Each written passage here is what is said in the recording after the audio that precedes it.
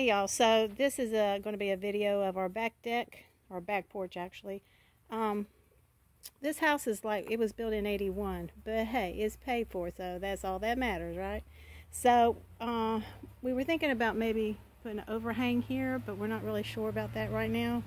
But we are putting indoor-outdoor carpet, the green grass looking stuff, and um, because I like, I have a lot of bear statues and stuff out there I like to put up here and be able to look out of my back door here at the scenery and we got like a bird feeder out there and and all that. So that's what we're working on this weekend.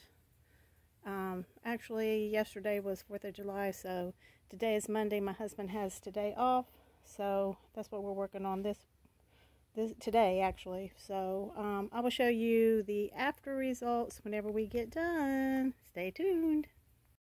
Well we just laid it down. Now we got to flatten it out and trim it on the edges. And then we'll be ready to put all of our stuff back up here. Okay y'all so we're finally done.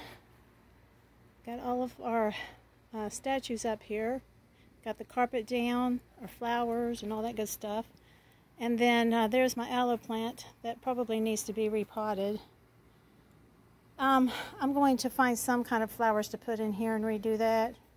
Probably I'm probably going to leave it pink though. So anyway, but we're going on vacation too, so who knows what I might find up there that I might want to put something in that area there. I don't know. We'll see.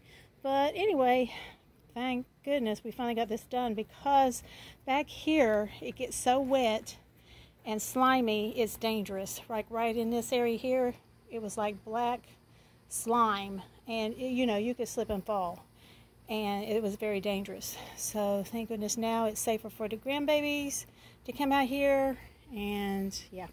So thanks for watching guys. See you later.